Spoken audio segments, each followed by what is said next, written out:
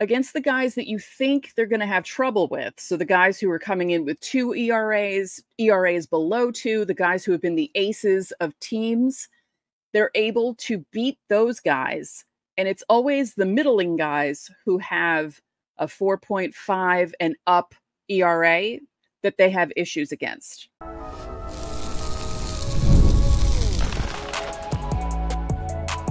You are Locked On Yankees your daily New York Yankees podcast. Part of the Locked On Podcast Network, your team every day. Welcome to Locked On Yankees, which is part of the Locked On Podcast Network, your team every day. Thank you for making us your first listen every day. I'm Stacey Gotsoulias. This episode is brought to you by Prize Picks, the easiest and most exciting way to play daily fantasy sports. Go to prizepicks.com slash MLB and use code all lowercase locked on MLB for a first deposit match up to $100. Right now would be the part where I say, hello to my co host, Brian McKeon. He is not here. I'm recording this on June 19th. For June 19th, we had technical difficulties during our normal recording time. We recorded about 20 minutes of what would have been today's episode, and it was awful. We were having major internet issues. So here I am solo. Before we get started, don't forget subscribe to the podcast on whichever podcasting platform you prefer. Subscribe to our channel on YouTube, like our videos, hit the bell so you're notified whenever our videos go live. Coming up on today's show, we preview Gerrit Cole's season debut. Oh, it's finally here. It's tonight. It's tonight. By now, 12 hours from now, I'm recording this at 9:42 a.m. Um, hopefully, the Yankees will be winning the game, and Gerrit Cole will have pitched a, a good start Let's hope. Let's hope. Um, in segment two, we're going to talk about Willie Mays because he passed away.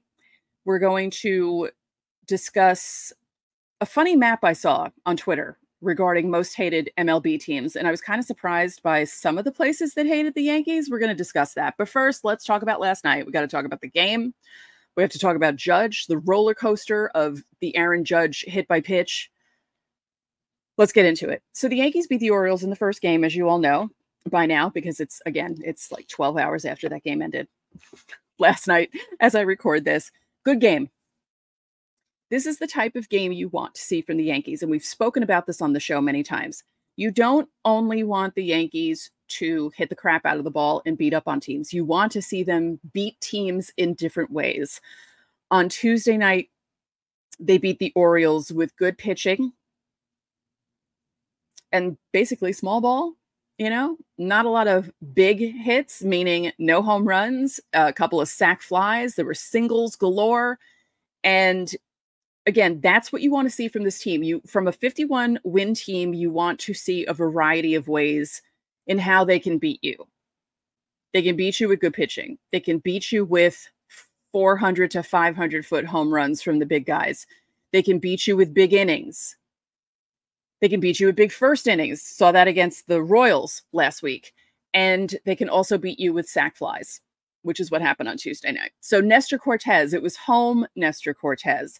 Six innings, five hits, no runs, no walks, and six strikeouts against a pretty tough Orioles lineup.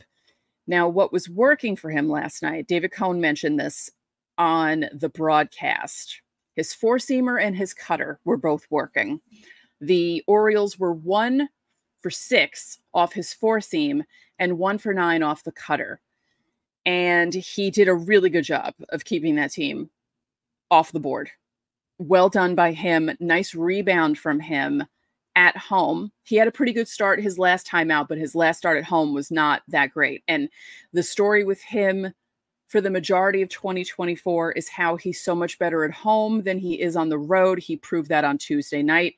Let's just hope he can figure out the road thing. Seemed like he did the last time out, but let's see if he can keep that going. So let's move to the offense. Like I said, they kept it small, but they did enough damage to knock out Suarez after only three and two third innings. He came into the game with an ERA below two. The Yankees like to do this. This is another one of their patterns for the season against the guys that you think they're going to have trouble with. So the guys who are coming in with two ERAs, ERAs below two, the guys who have been the aces of teams, they're able to beat those guys. And it's always the middling guys who have a 4.5 and up ERA that they have issues against. Unfortunately, they're facing a guy like that tonight. So we'll see what happens with that. So Judge was hit by a pitch in the third inning. As we all know, he came out in the fourth to be in the field, but then couldn't bat because his hand was just not working. And this was basically everyone's reaction when that happened. Now, if you're not watching on YouTube, it's a GIF of someone very angry. It's one of my favorite ones to use. I used to use it all the time uh, when the Yankees lost games. I haven't done that in a while, and I might have to use it again. But they take him out. Uh, Trent Grisham pinch hits for him. Everyone's panicking, obviously, because you're getting Gerrit Cole back, and then it looks like you're going to lose Aaron Judge because Mookie Betts was just hitting the hand with a pitch, and he's going to be out possibly eight weeks. So it was a scary moment for Yankee fans. And then after the game, Judge came out and talked to the reporters and said, everything's good. He had a sly smile on his face.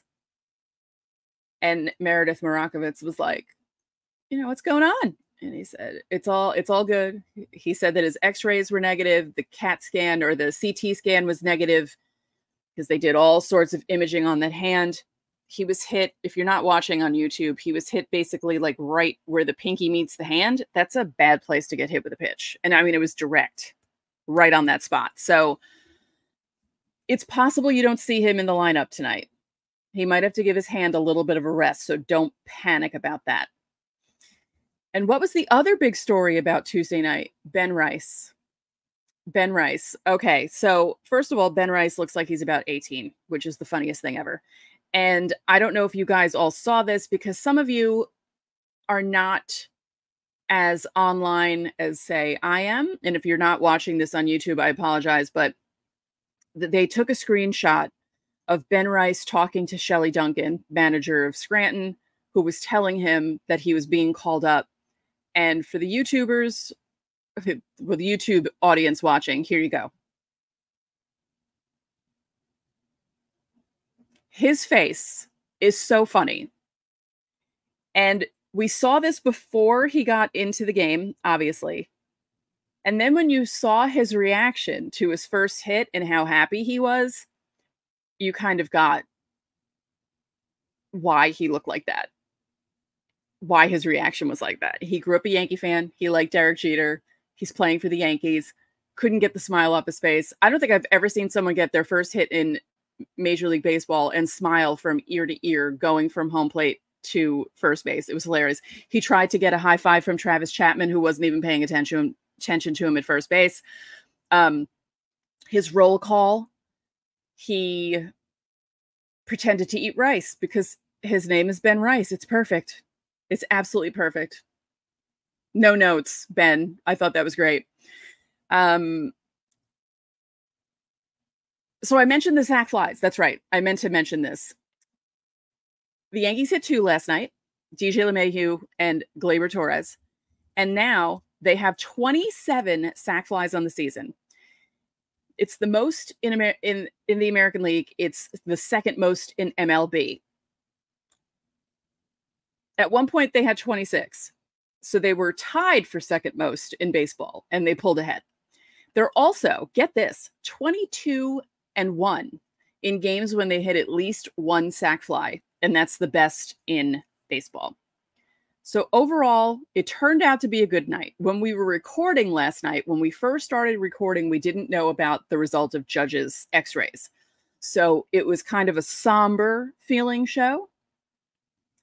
And then we got the news that he's okay. So that was good. Tonkin and Weaver threw scoreless innings, one apiece. They came in after Nestor. Holmes gave up a two run home run to Santander.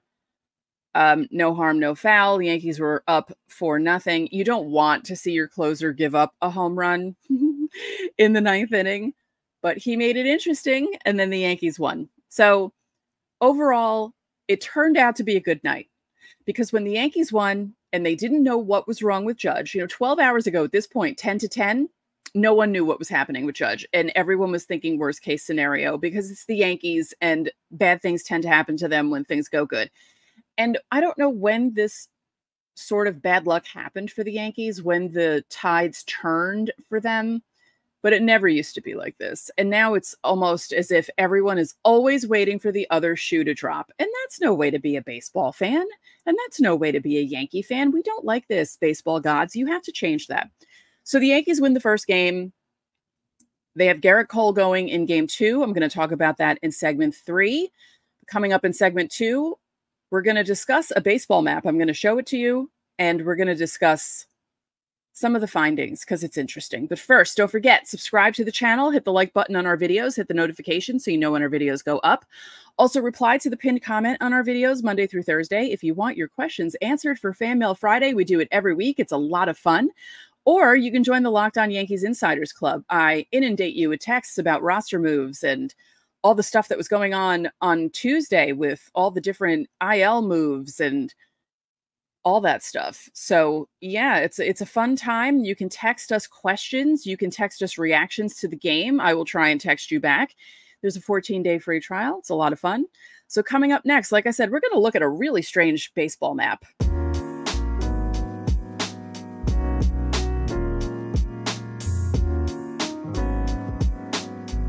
Locked On Yankees is sponsored by eBay Motors. Passion, drive, and patience. What brings home the winning trophy is also what keeps your ride or die alive.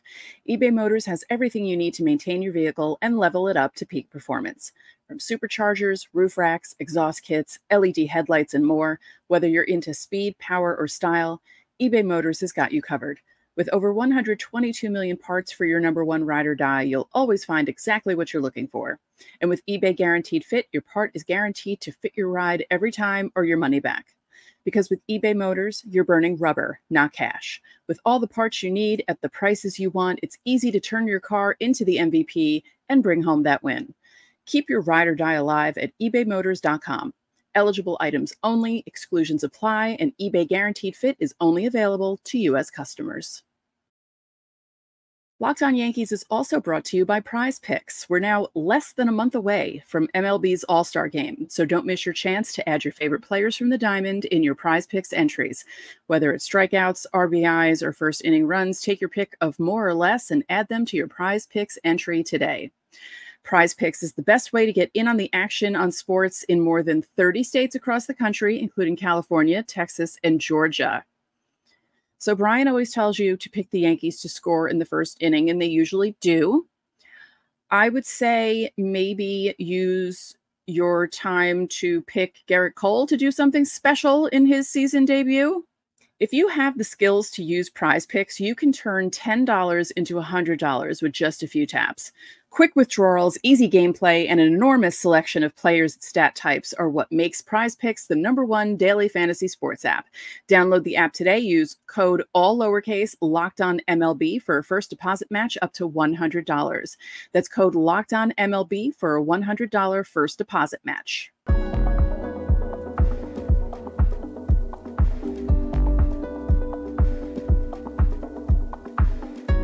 Welcome back to Locked On Yankees. Locked On Sports Today is a free 24 7 sports streaming channel programmed for you every day to bring you the biggest stories without all the noise. Locked On Sports Today brings you can't miss analysis, opinions, and news, streaming 24 7 on YouTube or the free Amazon Fire TV channels app. Part of the Locked On Podcast Network, your team every day. Don't forget, you can catch every pitch of the Yankees hometown broadcast with SiriusXM. Just download the SXM app and search the word Yankees. So we got bad news yesterday. Willie Mays passed away at the age of 93. He died peacefully, from what they said. And that's always a good thing. You don't want to hear someone at 93 dying of some illness. You want to hear about them just passing away, an old man lying in his bed. That's what you want. So, Willie Mays, let's go through the numbers because they're incredible. Career batting average of 301, 660 home runs, 24 All Star selections. That's insane. One World Series, two NL MVPs, 12 gold gloves, he was the batting champ in 1954. He obviously made the Hall of Fame. He was named to the All Century team in 1999. Um, I will say this you know, I wasn't born soon enough to see Willie Mays play. My dad saw him play. His uncle Gus was a big New York Giants fan, would bring my dad to the polo grounds, would also try to convert my dad from a Yankee fan into a Giants fan. My dad was not having that. Um, so he saw Willie Mays play at the polo grounds when he was a kid and a teenager.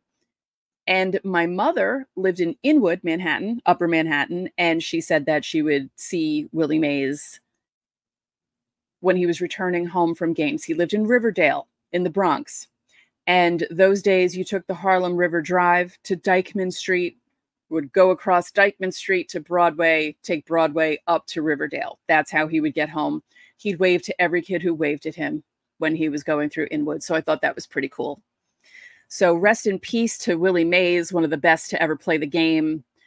It was a it was a downer of a day with that news. So, as I mentioned, we're going to look at a map.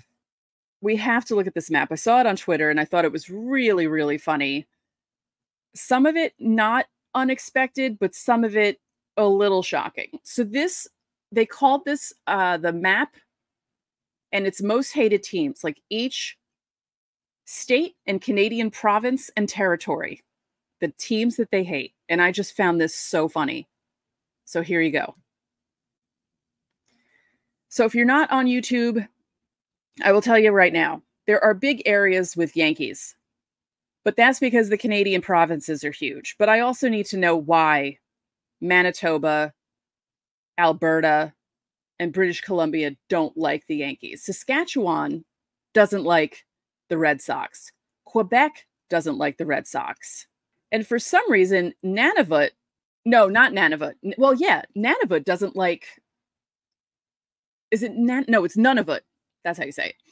They don't like the white sox and the northwest territories don't like san diego. Why?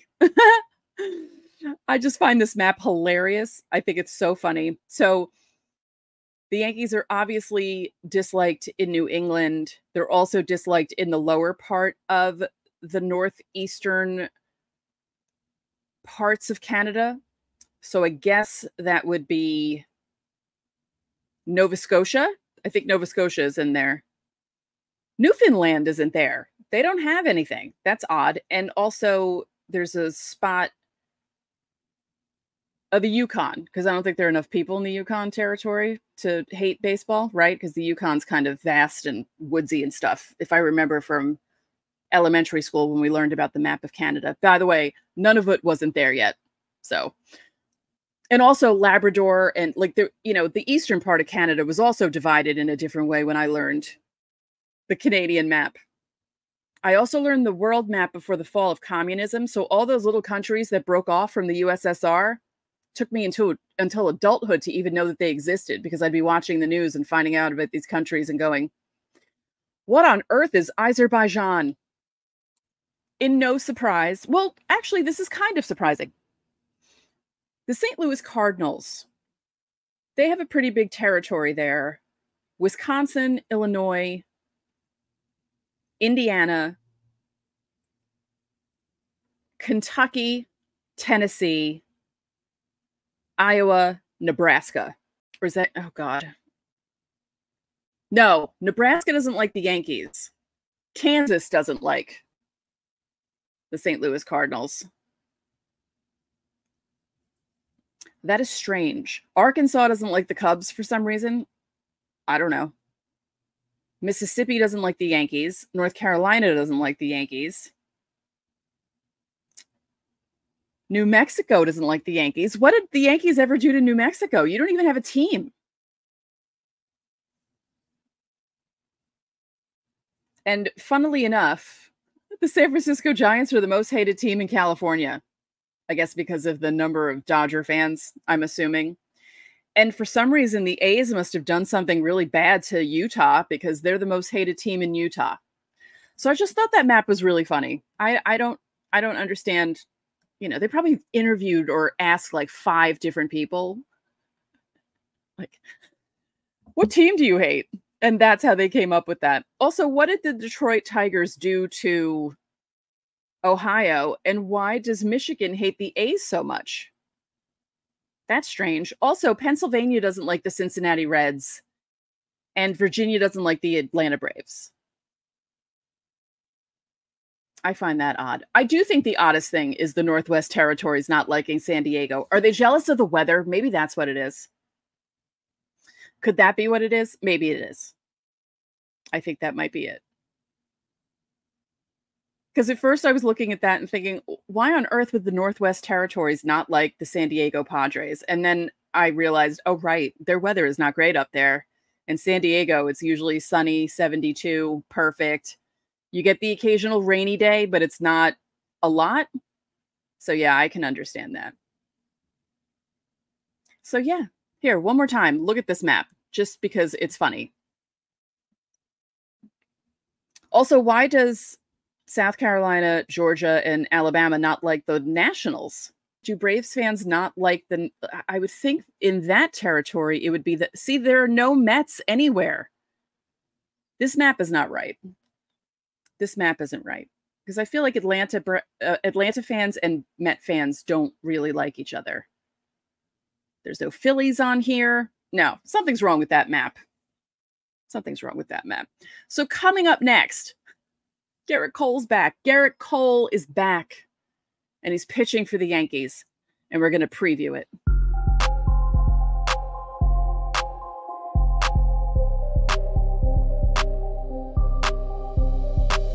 Policy Genius is the country's leading online insurance marketplace. It saves you time and money so you can provide your family with a financial safety net starting today.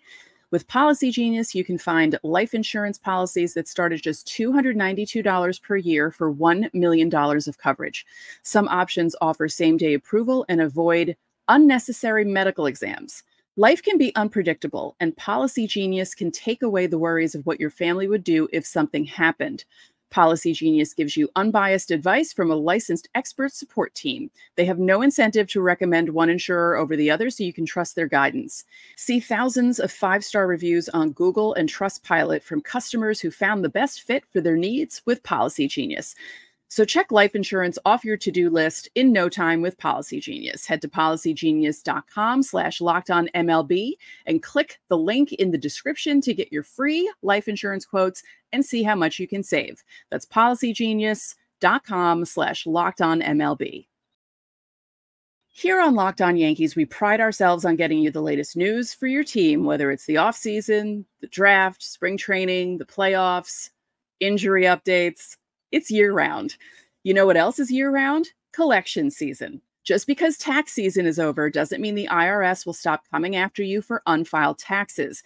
The IRS can garner your wages, levy your bank accounts, and even seize your property. Don't let the IRS target you. Let the licensed professionals and tax experts at Tax Network USA go to bat for you.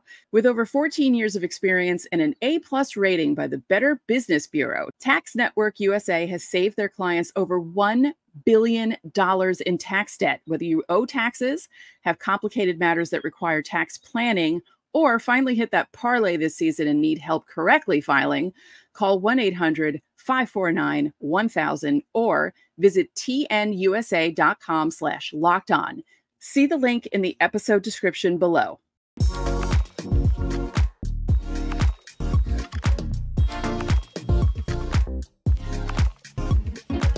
Locked On has launched the first ever national sports 24 7 streaming channel on YouTube, and now it's also available on Amazon Fire TV and the free Fire TV channels app. Locked On Sports Today is here for you 24 7, covering the top stories of the day with the local experts of Locked On, plus our national shows covering every league. Find Locked On Sports Today, now available in the free Fire TV channels app. And don't forget, you can catch every pitch of the Yankees hometown broadcast with SiriusXM. Just download the SXM app and search the word Yankees. So we're here. It's June 19th, and Gerrit Cole is back. Yay! I mean, he's been with the team most of the time. He wasn't with them when he was making his rehab starts, but he was in the dugout for a lot of the time that he was rehabbing from his injury. He was acting as a de facto pitching coach. He was advising young Luis Gil and helping him out. And now he's back in the rotation. And up to this point, the Yankees have won 51 games without Gerrit Cole in the rotation. The rest of the rotation, let's just give them credit. They stepped up big time because coming into the season, even before Cole was hurt, everyone was thinking about is Rodon going to bounce back? What's is Nestor going to bounce back? He has part of the time. How is Stroman going to perform? How is second year Clarke Schmidt going to do? And he was doing really well until his injury. Then Luis Gil steps in and he becomes the ace of the team in Cole's absence. And you have to give credit to the rotation for doing what they did during his absence. So Gerrit Cole facing off against Cade Povich. Povich is 0-1 with a 4.76 ERA. Right in the Yankees' wheelhouse for their kryptonite, 476. Ooh, I don't know. Gerrit Cole could pitch a really good game against the Orioles, and the offense might not be able to do something against a guy with a 4.76 ERA. You never know. You never know. I'm just excited to see Cole. And I'm assuming they're going to have him on some sort of limit, possibly. Although they let him push it pretty far in his last rehab appearance. Not lengthwise, but throwing wise, you know, he was touching 97 plus and pitching more like Gerrit Cole, and he was striking out people more.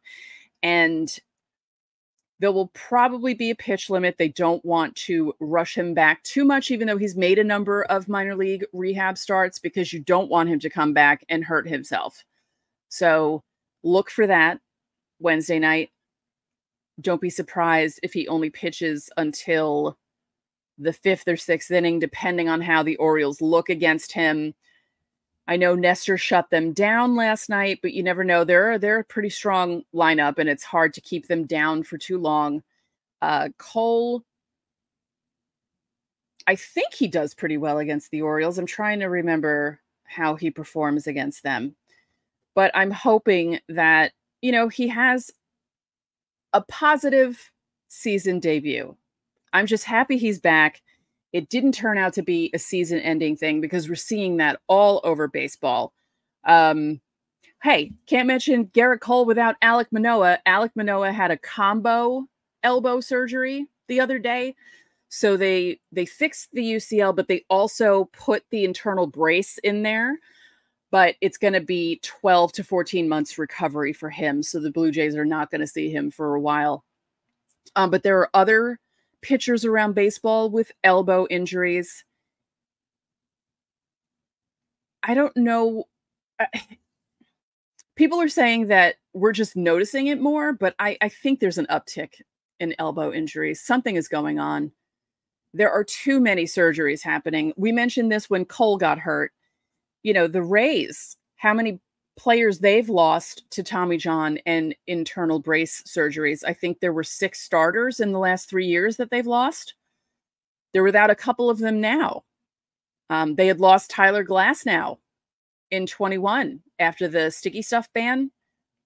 He blew out his elbow, and now he can't stop striking out people after getting Tommy John surgery. So it's good to have Cole back. It's good that Aaron Judge isn't really hurt. Like I said in the beginning of the show, don't be surprised if he's sitting out or maybe not playing the field, possibly.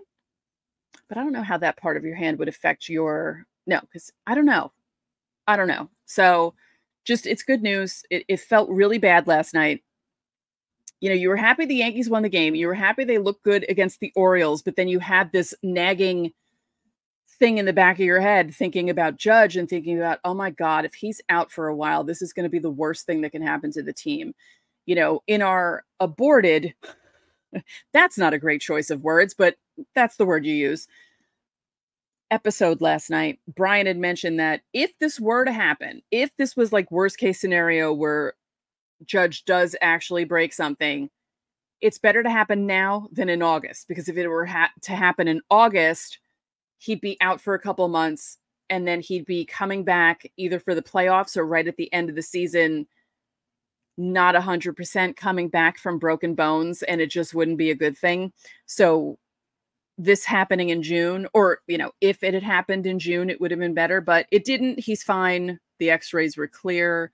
Hopefully everyone read the imaging correctly and uh, didn't give him the wrong information because it's the Yankees, you never know. But I'm assuming that Dr. Christopher Ahmad, because I believe he was the one that was checking him out, they did the imaging at New York Presbyterian. Um, he's the team doctor. I'm assuming by now he knows how to look at X-rays and CT scans. So I, I think, I think Judge will be okay. So yeah, this is a good day for the Yankees. They won the first game of the series. Aaron Judge seems to be okay, and they get their ace back, the reigning Cy Young award winner, Gerrit Cole, back in the rotation, back with the team as a full teammate, not just sitting on the bench and yapping, which they show on Yes all the time. I think it's hilarious. It's so funny. He talks so much to his teammates, but he seems that like that type of guy who has to talk all the time. So now he's in the rotation. And Oh, one more thing. That's right. We were going to mention this on the show last night. So, this is the flurry of moves that were made before the game on Tuesday night. Clayton Andrews was recalled from AAA. He was sent right back down after the game, didn't even go into the game. Anthony Misiewicz uh, was also selected. They signed him to a major league contract. Um, as we know, Ben Rice, he played in his first game the Yankees placed Ian Hamilton on the 15 day IL retroactive to June 17th. He has a right lat strain. Cody Poteet is on the 15 day injured list retroactive to the 15th with a right tricep strain. Obviously, Anthony Rizzo is on the IL. He's on the 10 day right now, but he'll be pushed to the 60, or that maybe they might they might re up it a couple times, but he'll probably be put on the 60 at some point with his right forearm fracture. And they transferred Clarke Schmidt to the 60 day IL. That's also not surprising. He wasn't coming back from two 15 day stints with his injury. So it's not, he isn't more injured. They're just putting him on the 60 day to make room for other people and move things around. So that's what's happening with the Yankees. One more time, don't forget you can leave questions for Fan Mail Friday under our pinned comment on the YouTube videos. You can also join the Locked On Yankees Insiders Club. There's a link in the description under our YouTube videos. There's a 14 day free trial. You get texts from us. You can text us questions. You can text us comments. You can text us reactions to the game. Last night was fun after what happened with Judge. Yeah, it, it was a lot. Um, like I said, 14 day free trial. It's a lot of fun. So you can try it out. If you don't like it, you don't have to stay. But if you do like it, stay because it's fun. And remember, you can catch every pitch of the Yankees hometown broadcast with SiriusXM. Just download the SXM app and search the word Yankees. That'll do it for this edition of Locked On Yankees. I'm Stacey Gotsoulias, and we will see you hopefully tomorrow.